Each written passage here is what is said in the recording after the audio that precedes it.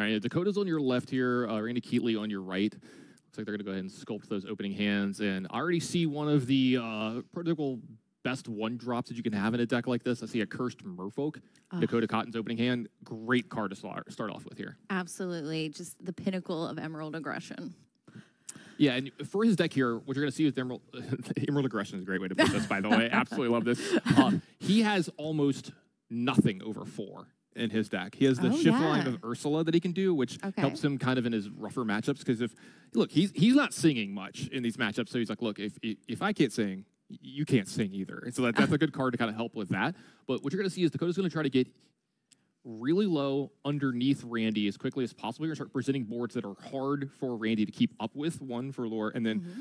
it's going to be challenging for him on like, how do I challenge? Where do I challenge? And stuff like that. And then Dakotah's going to have a lot of uh, minimum crabs as well in his deck too to help him challenge up into some of these cards as Yeah, well. absolutely. Because he will get outsized at times. I could, yeah, I could definitely see that happening with with a Ruby Amethyst. A lot of heavy hitters in that deck for sure. Looks like we're gonna have great one drops from both of the players here. Chernabog's Yeah. followers on Randy's side, Cursed Merfolk that we talked about on Dakotah's side here. Absolutely. Um, Chernabog's followers, great. Whenever it you can banish it to draw a card.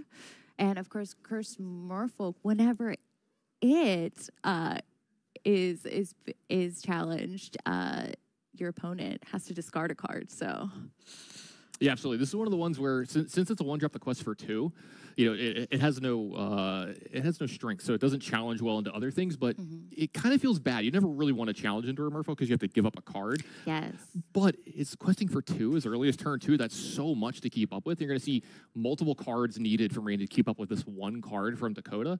And that's a Sir Hiss that's coming behind it. This is another card that's really important. We see this a lot in the Emerald decks because not only is it uh, good at challenging up into most of the two, three, and four drops in this matchup, it's got evasive. So Dakotah gets to set the rules of engagement here in this matchup. But you're going to find that a lot with his deck. He has a lot of evasive creature uh, characters in his deck here, and that's going to make it really, really hard on Randy to challenge correctly. And see Randy actually doing something like that this turn with he's going to go ahead cash in the uh, the followers for a card here, and then he's going to go ahead and pick off this Curse Merfolk. But it is going to cost him a Sisu here, which is that's a really good three drop. So I have to Yeah. wonder does Randy have something behind this? yeah, not uh, that's not a trade that feels particularly uh, good. So definitely interested. Oh, another one. yeah, that's what, I was about to say. I, I feel like a second Sisu is coming here once you've you, once you've discarded one to the Curse Merfolk. But you can see here Sir Hiss, uh, evasive. You can quest here. You can challenge. You can do however you want. Oh, another fantastic card, uh, Kit Cloudkicker. Um, whenever he is played, he is able to kick back ah, um, uh, a character with one or less strike. And here you're seeing kind of what Dakotah's deck is geared to do, right? This is why I talk about it's a low to the ground tempo deck. See, these cards, not super great rate, like a 2 2 for, for three here, that quest for one, kind of generic, you know, uh, but it's buying some tempo, right? Like it just bounce the card back to Randy's hand. That card is not in play anymore. And if he wants to put it back out, it's going to take more time, more ink consumption for him. He's going to have to commit time and effort to put this card back into play. And Dakotah's going to keep advancing his board as he does this. You know, questing a little bit here, trading when he wants to. Like I said, he's still got those crabs. So if he needed to, he could trade up into the Sisu at some point in time. Well, Yeah. a lot of options for Dakotah here. And you can see why this deck is A, one of his picks for this weekend, and B, why it does well in this kind of matchup. Speaking of Merlin, There comes Merlin Rabbit, um, one of our favorite ways uh, to draw a card. And anytime he uh, enters and leaves, you get to draw a card. So very fun to bounce him back and forth. yeah, one of the flagship cards of this deck, Merlin Rabbit. Here, hey, look, And there's the crab. it's almost like I knew it was coming. Uh, yeah, this is one of the best crab decks I've ever seen. Like we've, we've seen Ruby Amethyst use crab, uh, you know, in the past. It's kind of fallen out of favor a little bit. We're starting to see it come into play just a little bit more, depending on you know what the sizing of the characters are in other decks. Dakotah's deck is a crab deck. This is a deck where I, I, I believe he's playing the full amount. I don't have the actual deck list in front of me, but he was talking about, yeah, I, I want crabs. I want to be able to use them as often as possible, trade in as much as I possibly can. I want to get all the value out of these I can. Speaking of value, Randy's doing a decent little job of it here. That Merlin Rabbit's going to get picked up and draw an extra card. Yeah, absolutely. Uh, with the Madam and and also with the crabs, it's like taking the support dynamic and just Mhm. like escalating it. Yeah. It's absolutely incredible to see. Um, definitely. Oh, another crab. Yeah, so we're seeing it on both sides. Both these players are distinguished gentlemen. They know Uh, they know to be playing the crowd. You know, Another thing to be saying about this is uh, the body that's left on this. It is a three-three for three here, which is really important because of stuff like we see the card in play right now, Madam Mim, uh, Fox, and that one is one of the better cards in this matchup because if Randy ever gets to play that and challenge something that's a little bit smaller, he gets a ton of value off of this. But most of the stuff that he's been able to uh, challenge so far would either trade for it or has evasive, so he can't actually challenge it. yes, yeah. Evasive really, really can gum up the works really quickly if you don't have the counters when you need them. Not to mention, it's a, it's a card that costs three, lets you sing friends from the other side here, and uh, this is really great for Dakotah because the crab's already gotten its value, right? Allow, allowed a card to trade up. It's now helped him draw two extra cards here, which is awesome. And then if anything wants to trade into this, he doesn't get a free trade. Everything is going to have to is, everything is going to have to also be banished.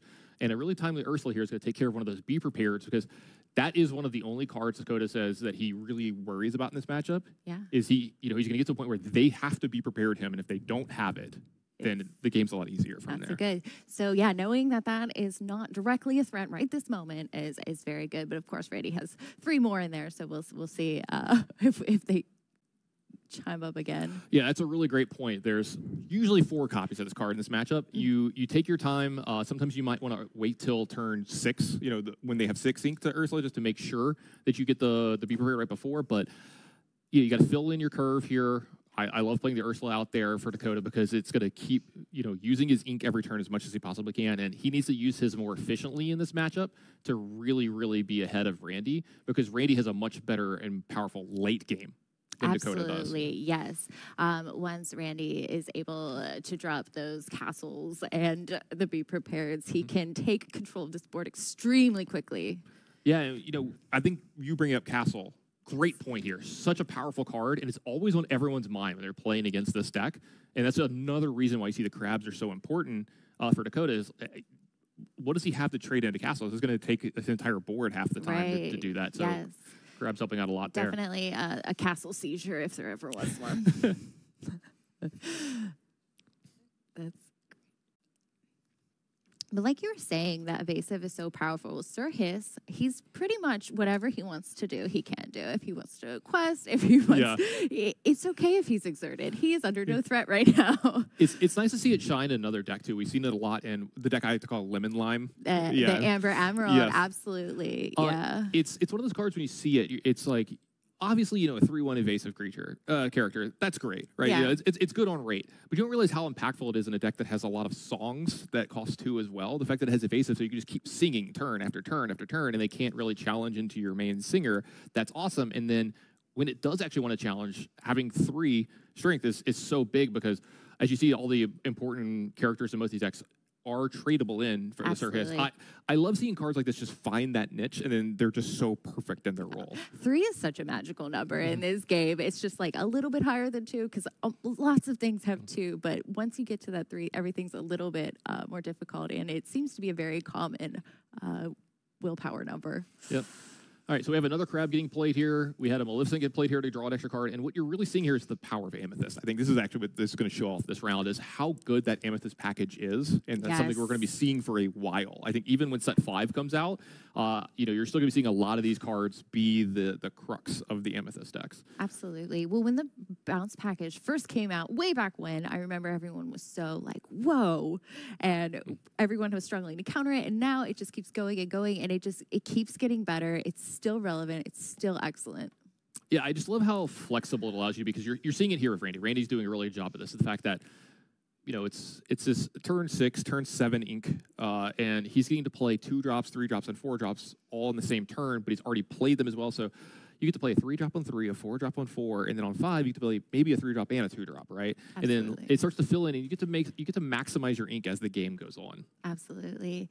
Yeah. And it, it really shows these kind of players who know when to play, what they play, what to bounce, when to bounce it. And doing that sort of two, three, four math um, uh, makes a huge difference.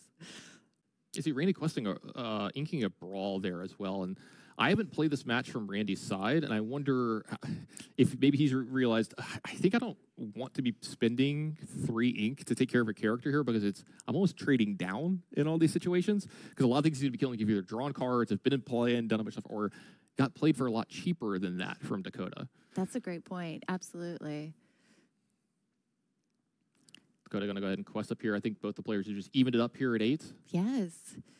So it is definitely a, a close match. I'm excited to see what happens kind of in the as the further the game goes on when we get towards that late game.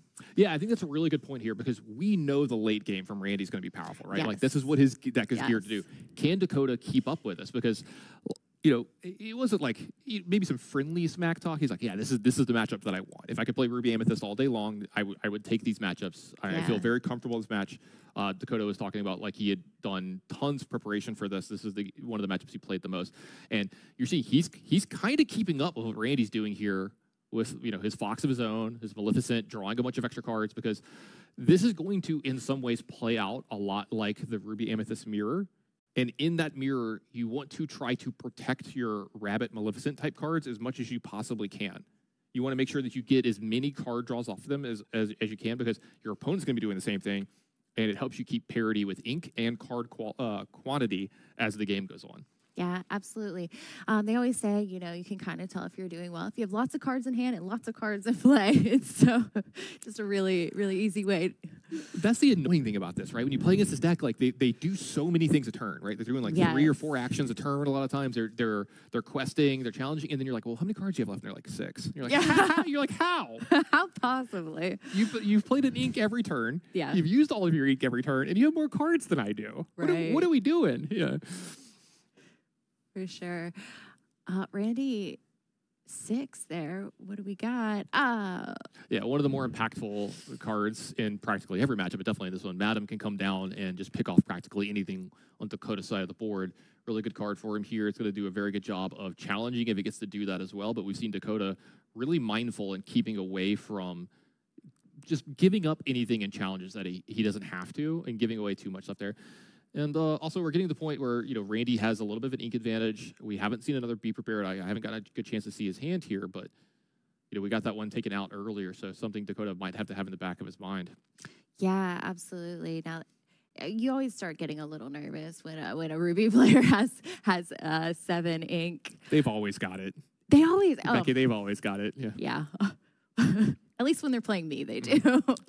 yeah. I love that we have Madame Mim and Madame Medusa up right here. Uh, someone likes Madames, I guess, uh, when The it comes to this Lorcana because th- these are two of the better cards in in all of Lorcana, in my opinion. Very, very true. Um, they both get to see so much play. They're really disruptive. Um, just nobody plays a Madame Mim or a Madame Medusa, and their opponent's like, "Oh, good, no, Good, it's never, yeah, yeah. no, it's never good news for you."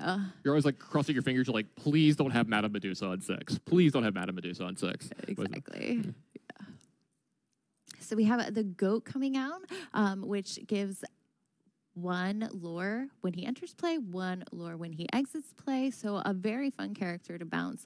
We see uh, goat doing some really, really big impact uh, towards late game in in at least most amethyst decks. I don't I don't know what Dakotah's uh, big big plan will be here. Looks like he's gonna go ahead and follow us up with two more one trips here. One with evasive, one without. Another evasive, Mhm. fantastic. Yeah, it, it's those evasives because both of these are pretty small characters, Mhm. um, especially you know Pegasus. uh, Good for Hercules is only a one one, and then Hiss with the three one. It's like they're not big, but they. I mean that Hiss has been here for a long time. Right, it was, played, it was played on turn two, right? It It's just been here- was. Yeah, he's just been doing it. He's just been off the side, just doing his job. Yes. Madame Mim, you see they're questing as well because there are no uh, advantageous trades from Randy here. Any of the challenges that Randy would make here would also cost him a card as well. And right. Da- Dakotah does have that lore advantage here as well. So he's in the driver's seat right here. We have to see if Randy can have a big enough turn, which this leads me to believe I think we're getting be prepared here this turn. I Maybe could not. Okay. We're bouncing. Oh, this is this is a, okay. This is be prepared at home. so what we're gonna do is we're gonna use the Madam Fox to pick up the Madam Medusa. yes. It's gonna get a good trade in, Yes. and then the Madam Medusa is gonna come in and pick off another character. I, I know this is gonna make you sad. Sir Hiss is finally I, I, sh- I shouldn't have said anything. That's what did it. you, you put the, you put the target on his I back. did. I'm I'm gonna sorry. I'm gonna blame you specifically here. you and Dakotah both can. Okay. Um, so uh, that that that did that was that was be prepared at home. So now um, Dakotah still having the goat. We have baby evasive Pegasus and the Chernabog's followers, which doesn't do a whole lot. Um, basically made to uh, replace itself ultimately. Yeah. it does look like Dakotah is going to make that choice. And I was wondering, you know, you brought that up. That's a really good point. Is is he going to cash in the card from Trader Box followers here? And with uh, the the two characters that are on Randy's side here, I have to believe you're going to definitely want to cash in a card unbeknownst what's what's in his hand. You know, depending on what is in, ha- in Dakotah's hand here, it could change here as well. Oh. And, and here, Okay. All right. All right. All right. Sorry. oh no, no, that's that's a really good thing to point out. Madam Mim plus plus Goat here at this point in time, when you have this kind of lore, this is where it starts to get really, really scary because Dakotah might be able to win from here without ever questing again this game. Absolutely. You're totally right because he's now at 17. Um, even if Randy is able uh, to take out some of these characters, um, Dakotah is still in a really good spot if he can bounce. Yeah, and you see Randy sees the writing on the wall and is going to allow Dakotah to win that uh, game one. He's going to scoop him up there. And I think it's a really good point to talk about right there that Dakotah, the turn before, had for these players. Sounds good. Let's see if Randy could even this one up or if Dakotah's going to take a 2 0 here. Yeah, absolutely. Um, now, because uh, Randy probably didn't know a whole lot about what to expect when Dakotah came in, but now he's seen it. He's seen Dakotah's plan, and he might be able to make some choices differently to be able to counter it.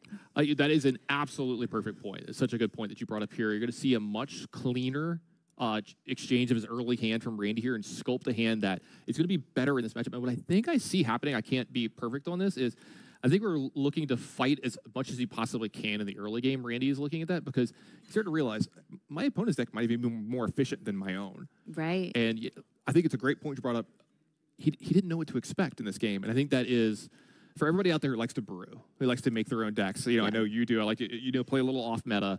Um, you can see the advantage of it here. If you pick the right stuff at the right time, your opponent's going to be thrown and not know what to do. And you could have had all the testing in the world, play this matchup a hundred times, and then your opponent plays a card you're not ready for, and you're like, oh, I, I don't. I Oh, don't wait. Yeah, Yeah. What do I do? what do I do now? Yeah. No, 100%. There is that sort of advantage to, Mm. to, to playing something unexpected. Um, the real test, though, is if it can stay consistent after the novelty's worn off. That's a, another great point. You're like, okay, look, I've, I've been surprised by this. Now that I'm prepared, uh, let me show you the strength of my deck. Yeah. And something here, and that's what Randy's hoping for. And uh, speaking of the strength of the deck, that's another turn one Curse Merfolk. It sure is, which uh, that is a beautiful card to open open a hand with. Great openers from both Chernabog followers. I mean, we're gonna see we're gonna see a lot of this, uh, a lot of the same cards from each other in the first couple turns. Yes. And There's Hey. Sir Hiss. yeah, ju- and just like last game, Dakotah with the uh, Curse Merfolk into the Sir Hiss start, really great for me. And uh, no quest here is kind of interesting. Like, I- think it's great in the fact that he doesn't give the freebie. Uh, I say freebie. He doesn't give the Right. challenge to the uh, Chernabog followers here to take out the Curse Merfolk. Uh, I know it would get a card from him, but this puts it, the onus on Randy. It's like Randy, if you quest with your followers, like, do you want to banish it to draw a card? And then, depending on that, uh, Dakotah gets more info uh, on when he wants to quest here. And since it quests for two, he can kind of give up a little bit here on a turn because he can catch up so much faster. Yeah, absolutely. That's a really good point. And we see you inking the Maui to play a Mim, bounce it back. Excellent. Yep, Snake really, really powerful in this matchup if it gets to ever actually start to challenge. But we've seen Dakotah really, really strict about how he wants to challenge uh, in this matchup and not give away too many good ones.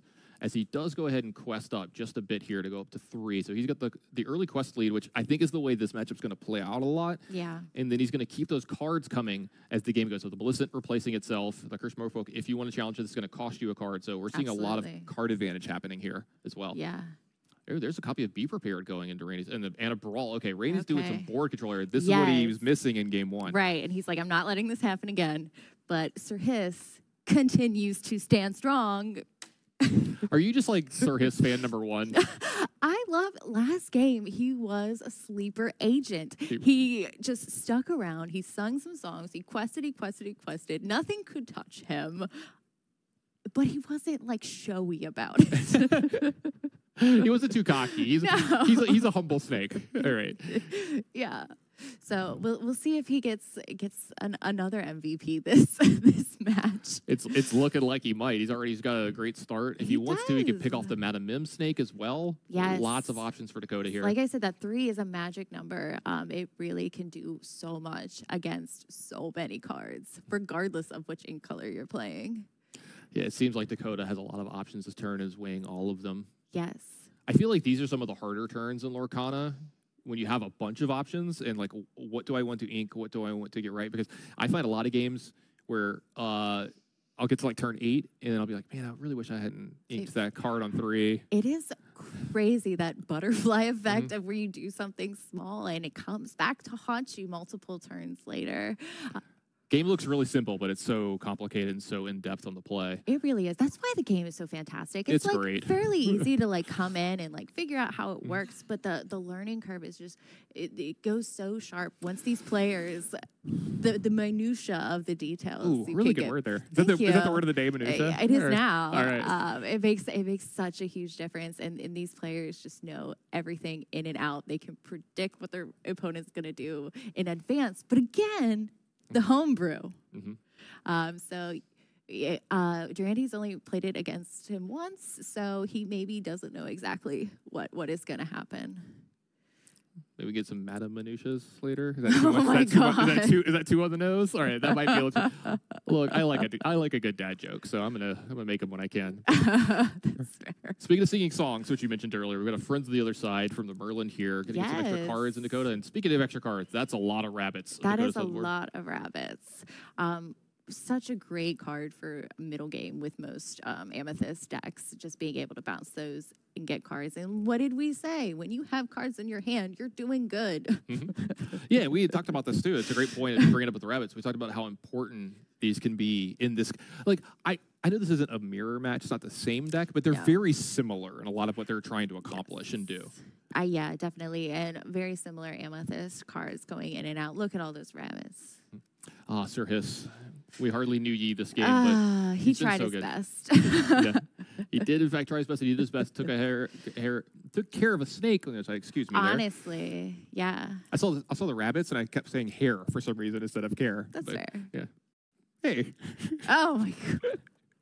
We are doing. We got this. If there's wordplay, we're on it. Yeah. Um, that's We're, it. like, we're just making a Disney song as we go. Yeah, perfect. Um, Baby Pegasus coming out, another evasive, kind of coming in for Sir Hiss as as another evasive, moving moving that forward.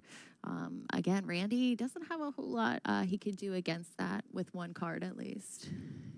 Yeah, absolutely. He's gonna have to, you know, play something like Madame Medusa on six or something like that, take care of uh, Pegasus, and that, that never feels good.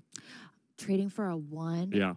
with a six, no, not so much. And that's one of the things in this matchup I think Randy has to do. Like, like I said, I've never played it from Randy's side, but there are some points where you kind of you know you're going to get got right. Like it, it's like I, I've got to take what I can take here. I've got to brawl this card that I don't want to brawl. I've got to madam Medusa this card. I've got to madam Medusa. And look, Randy actually had a pretty powerful turn here. You know, you got a fox to come in for an advantageous challenge on one of the rabbits there, and then followed up with two one drops here that are going to replace themselves and gain some lore here. So that was a very positive turn for Randy here. See if Dakotah has a little bit uh, to fight back. Immediately questing with the rabbit, though. I got to believe there's some kind of maybe some bounce shenanigans here. And yep, there she is.